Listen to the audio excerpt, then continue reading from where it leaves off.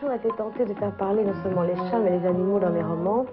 Parce que quand j'étais enfant, j'aimais beaucoup le livre de la jungle et toutes les, les grandes sagas animales, ou les Jack London, Barry Chien-Loup, etc. Piti est là depuis mai 68. Oh là là, d'ailleurs, Piti va s'en aller tout de suite. Parce que justement, il paraissait tout à fait convenir à l'ambiance. Ça y est parti. Étant un chat extrêmement sauvage et révolutionnaire. Disparition de l'enfant. Euh, je, je, croyais que c'était un chat.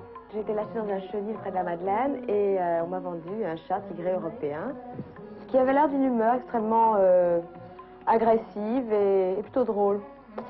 Et je me suis aperçue qu'en fait, enfin c'est le docteur qui s'en est aperçu quand on est, quand on est, on l'a porté pour une petite opération chirurgicale nécessaire au chat domestique, que c'est en fait une petite chatte et qui était absolument tout le contraire de ce que j'avais acheté. C'est-à-dire qu'une petite chatte timide, extrêmement introvertie, plutôt schizophrène, et qui avait des grands problèmes de nerfs. Ceci dit, c'est un chat d'écrivain parfait parce qu'elle ne bouge pas, elle se met sur les feuilles de papier et moi j'écris autour.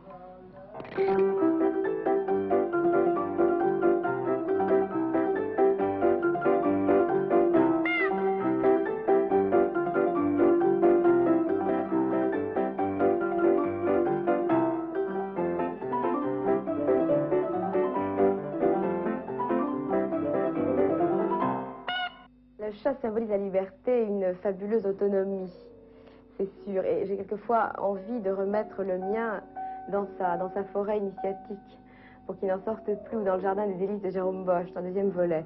Parce que je trouve qu'il serait peut-être mieux et plus à, plus à son aise, quoi, qu'il soit aussi très bien, parce qu'un chat est éminemment adaptable. Mais euh, ce chat qui n'est jamais acquis à personne, qui ne vient jamais se frotter contre la jambe de personne, qui ne vient jamais faire la cour, qui n'est jamais l'hypocrisie du chat, pour moi, c'est un mythe absolu. Parce qu'il n'y a rien de plus, pur, de plus instantanément vrai que, euh, que l'attitude d'un chat par rapport à un être humain. S'il sent qu'il y a la moindre agressivité, le moindre mensonge, le, chat s'en va. Il ne demande rien, il s'en va. Euh, la demande de tendresse, c'est une chose qui me terrorise. je veux dire, au niveau humain on se sent responsable des gens qui vous demandent de la tendresse, on se sent facilement culpabilisé. Euh, mais euh, il reste cette espèce de Seigneur qui, pour moi, est, un, être vivant supra, suprasensible puisqu'il perçoit les ultraviolets, il perçoit les infrarouges, il perçoit les infrasons, il, entend, il voit, il sent finalement beaucoup plus que nous. Et euh, en cela, je crois qu'en tant qu'écrivain, j'ai de temps en temps beaucoup de conseils à demander à, à mon chat.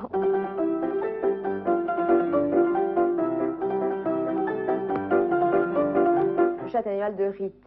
Donc le rite majeur, c'est surtout, puisque je dors très tard, c'est le rite du thé. Je suis là à 5 heures, je fais mon thé de Chine et je commence à travailler et il y a le clapotis de la machine à écrire. Et quelquefois, elle vient sur la machine à écrire, elle tourne autour, là avec la patte, pof, elle commence à taper. Elle a d'ailleurs tapé les premières phrases d'hiéroglyphes de nos fins dernières, tout le monde le sait. La vie de Piti par rapport à la mienne, hmm, je crois que c'est une vie de chat d'écrivain. C'est un petit peu comme un enfant ici, finalement. Dire que c'est une présence permanente, c'est quelqu'un à qui on n'a jamais, on jamais de compte à rendre, ce qui est très important. Et cet œil de chat, en fait, c'est une espèce de deuil qui ne juge jamais.